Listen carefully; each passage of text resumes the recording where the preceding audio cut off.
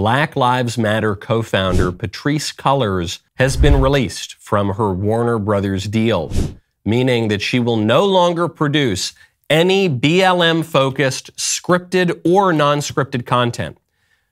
Now, in fairness to Warner Brothers, Patrisse Cullors never produced any content whatsoever during the term of her deal.